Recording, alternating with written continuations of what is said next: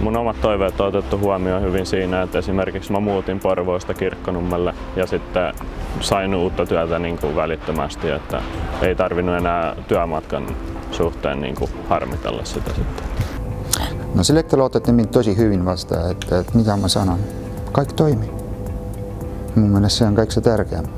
Jos on äh, suorassa työpaikalla, missä mun tulevat ongelmat tai kysymykset, että soitan Selectalle ja Selecta järjestää. Se on mun mielestä tärkeää.